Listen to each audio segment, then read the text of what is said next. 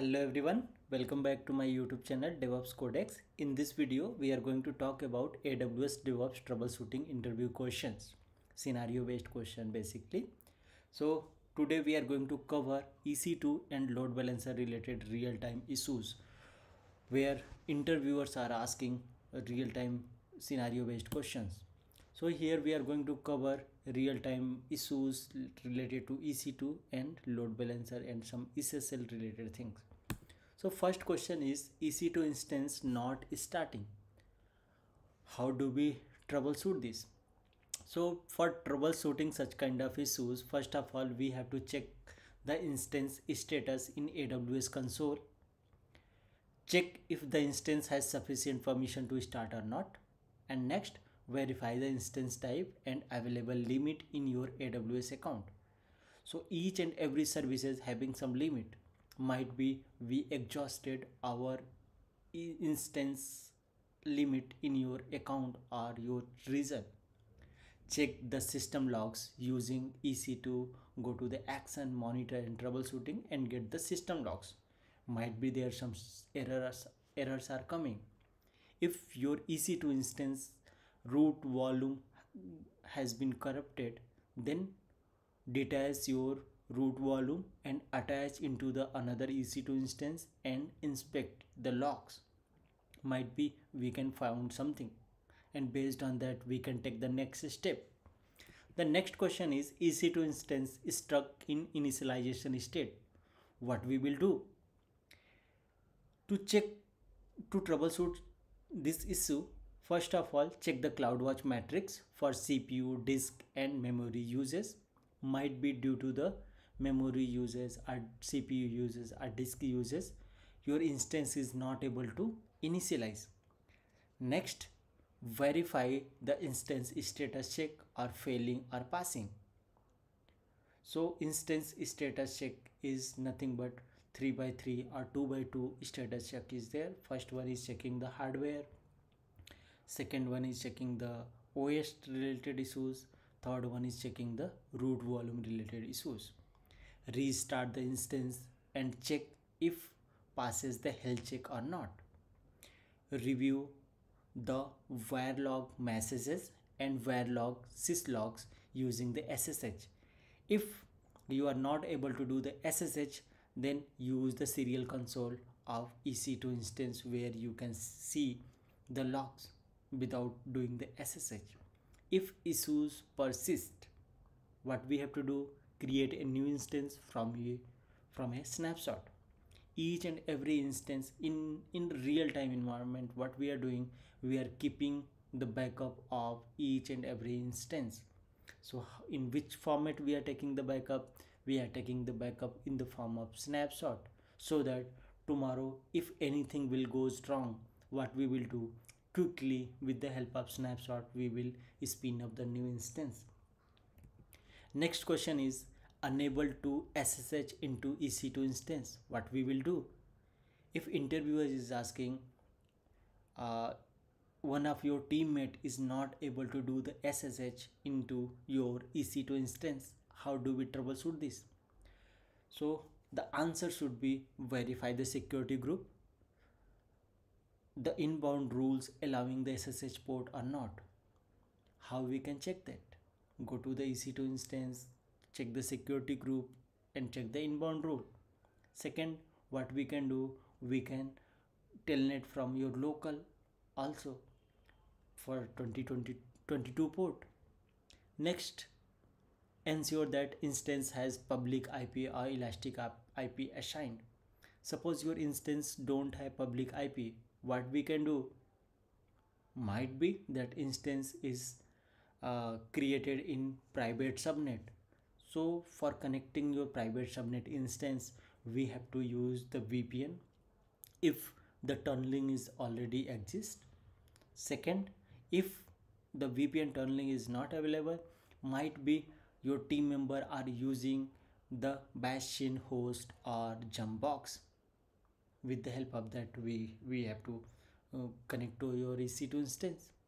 Check the key pair which we are using and which is assigned to your instance that is matching to your your your p pair key pair or not.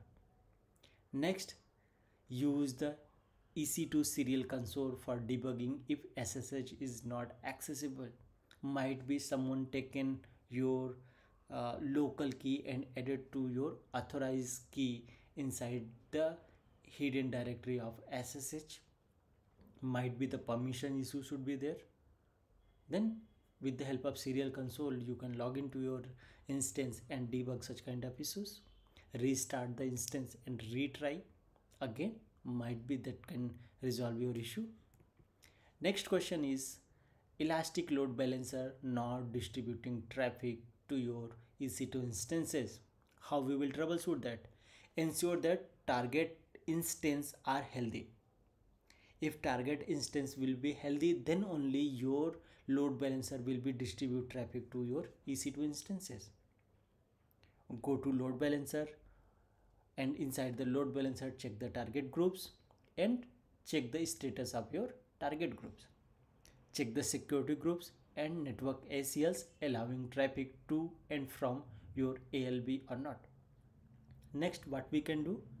Verify the listeners are configured properly or not for example, if you are using HTTP or HTTPS port, the port should be correct. Fourth one, ensure the proper instance registration is in your target group. Sometimes your uh, instance, proper instance is not attached to your target group, then it will be not serve the traffic. Last one, check the CloudWatch metrics for ALB traffic patterns. Might be there will be some abnormally in your traffic pattern. Due to that, your instances got uh, uh, uh, unhealthy or something like that. Okay. Next question could be the EC2 instance running out of disk space. For troubleshoot such kind of issues, first of all check the disk usage with the help of df-h command. Next, identify the large files on your OS label like with the help of du-ss and you can sort in a human readable format. And after finding out the large file, what we can do, we can clear the logs or we can move the large file in S3 bucket. And whenever required, we can swap in and swap out fourth one is if still after clearing the logs still your disk space uh, issue is not resolved then extend your volume size. Go to ec2 instance modify the volume and increase the size of your volume. Add some extra volume. And after adding or modifying your volume what we have to do we have to log into your ec2 instance and run the command resize to fs followed by the file system name that will resolve the issue and extend your volume at the OS level. Next question is EC2 instance terminated unexpectedly. What we will do? First of all, check the cloud crowd sorry CloudTrail logs for termination protection. Termination event whenever any anything we are doing on uh, AWS, AWS is generating logs in CloudTrail. So first of all, we have to check instance is terminated by uh, any user, any role, or what kind of event we are use we are getting in the CloudTrail logs. Verify the AWS auto scaling setting if it is in auto scaling group Check if the instance hits a billing or spare spot in pricing limit. Might be uh, if we are using the spot instances, might be such a case. Review the termination protection setting in EC2 instance and restore the instance using an AMI or snapshot. If still the issue is there, then we can restore your previous instance with the help of AMI or snapshot. Next question is ALB not accepting HTTPS traffic or HTTPS request. Ensure for troubleshooting that ensure an SSL certificate is attached to your ALB. Go to the ACM and check the certificates for your particular domain and uh, that uh, ACL certificate is attached to your ALB or not. Check the security group rules allowing port 443. Verify the listeners set to HTTPS or not. And fourth one is confirm the backend in backend instance or target group instance which is attached to your register to your target is accepting HTTPS traffic or not. Review the logs in CloudTrail and CloudWatch for SSL related issues. Next question could be the EC2 instance high having high CPU utilization. To troubleshoot this, first of all, check the CloudWatch metrics for spikes in CPU usage. Use stop or stop command to identify the high CPU processes. Restart the heavy processes or optimize the application code. Actually, as a DevOps engineer or SRE engineer, we are not optimizing our application code because we are not owning the application code. Okay, the application code is developed by the developers okay so or some other team members what we have to do we have to inform the respective team members to optimize the code and we have to explain the scenario. Next consider the increasing the instance type. We can increase the instance type in two way. First one is the vertical scaling second one is the horizontal scaling. In case of a vertical scaling what we will do we will change the instance type our uh, ec2 instance so that suppose we are using uh, uh, cpu utilization having 4 core okay might be we required 8 core or some other uh, higher higher version okay. In such a case we will we will use the vertical scaling. If it is possible try to use the auto scaling group and create like add your instance in horizontal fashion so that it will be uh, uh, highly available. Next question is auto scaling group not launching new instances. How do we troubleshoot this? First of all check the launch template or configuration for any kind of error. Ensure the AMI used is valid and accessible. What is the launch template and launch configuration launch template and launch configuration is nothing but it is set of template where we are defining if your auto scaling group is going to going to launch new instance what could be the AMI what would be the instance type? Which security group should be attached to the your EC2 instance? What role should be there? What would be in user data scripts? These kind of things we are putting inside the launch template launch configuration is the legacy one. Nowadays we are not going with the launch configuration. We are using lt only. Because in lt we have a feature we can we can create the multiple version of launch template. Next is verify the instance limit for your aws account. We have to keep in mind for each and every services there is some quota that is defined by the aws suppose we are using lambda services. The lambda service lambda lambda quota is defined for each and every region for every account. Similar ec2 instance having also a quota s3 bucket also having a quota. If we are exceeding the quota limit then we have to raise the request aws team will be increased on behalf of us. Next check if an sufficient subnet ip issues exist. Might be. What is happening? When we are creating the vpc that time we are passing the CIDR block. And each and every CIDR DIR block having the set of limited IPs might be we exhausted the limit of ip addresses. When your auto scaling group is trying to launch new instance that time what will happen?